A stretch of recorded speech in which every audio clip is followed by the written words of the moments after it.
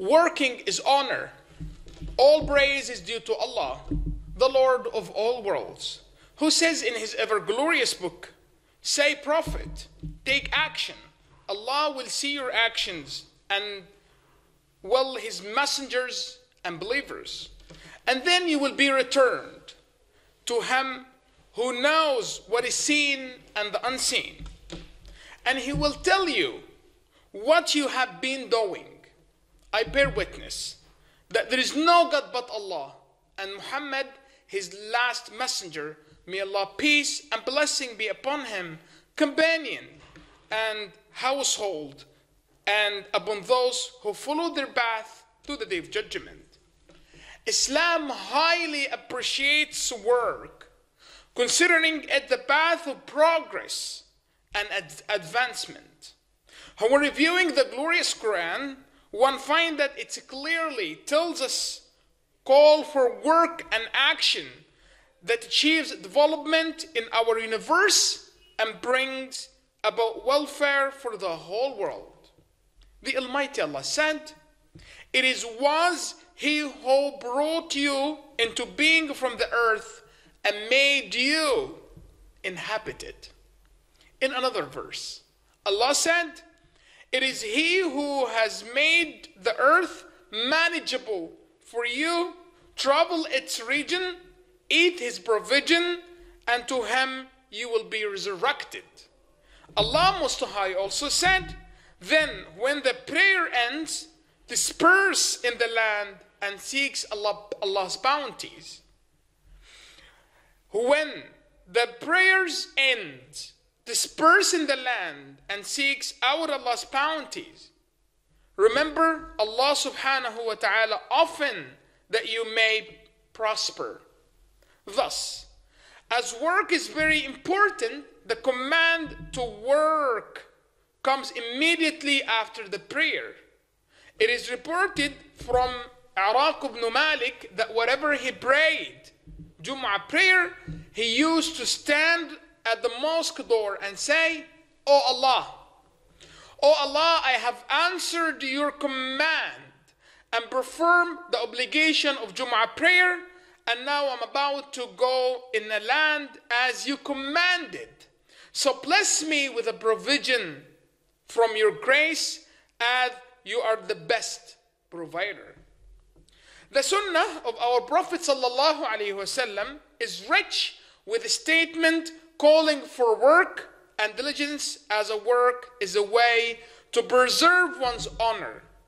The Prophet, peace be upon him, said, The best type earning is a man's work with hand, and every business transaction which is lawful. He, peace be upon him, also said, It's better for everyone of you to carry a bundle of wood on his back and sells it then to beg to someone whether he gives him or refuses or refuses. Once imam sufyan al-thawri passed by a group of people sitting in the holy mosque he said why do you sit here? They replied what should we do? He replied seek provision from the grace of allah subhanahu wa ta'ala and do not and do not live dependent on other Muslims. Umar ibn Khattab also said, let, uh, let not one of you refrain from working for his provision, supplicating to Allah subhanahu wa ta'ala to provide, for you know that the sky does not rain gold or silver. Giving the value and significance, significance of working all messengers all messengers of Allah please peace and blessing be upon them all used to work. So all messengers of Allah peace and blessing be upon all of them used to work. The prophet peace be upon him said prophet David used to eat from what he had worked for with his hands and said Zechariah peace be upon him, was a carpenter. And the Prophet Muhammad wasallam was used to work and serve his family. Aisha, may Allah be pleased with her, said he used to mend his sandals and sew his garment. Even at the time of his death, the Prophet, peace be upon him, was keen to call us for work,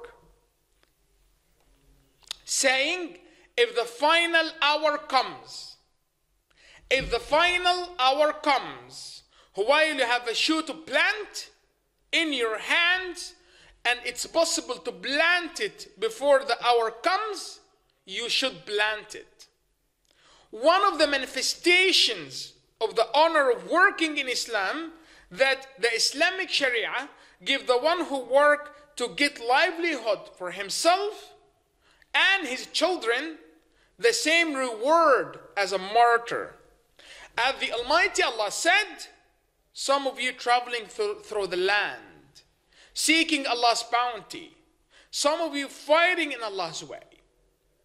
Once a man passed by the Prophet ﷺ, peace be upon him, and his companions. When the companions saw he is so active, they admired it and said, Had this been for the sake of Allah? The Prophet, peace be upon him, commented, saying, If he is working to provide for his young children, then his working is for the sake of Allah. If he is working to provide for his old parents, then he is working for the sake of Allah. If he is working to get lawful earnings, then he is working for the sake of Allah. And if he's working to provide for his family, then he's working for the sake of Allah. All praise is due to Allah, the Lord of all worlds. May Allah's peace and blessing be upon him, the Prophet Muhammad wasallam, his companion, and upon those who follow their path to the day of judgment. Islam does not call upon just to simply work, but rather to perfect our work. The Almighty, the Almighty Allah has promised a great reward for those who perfect their work, saying, As for those who believe and do good deeds, we don't let the reward of anyone who does good deeds go to waste. Also, the Prophet, peace be upon him, said, Allah loves someone who, when works, he performs in its perfect manner. Work is responsibility for every worker and official. Therefore, they have to be mindful to, of Allah subhanahu wa ta'ala. He, Allah subhanahu wa ta'ala, said, Allah is always watching over you.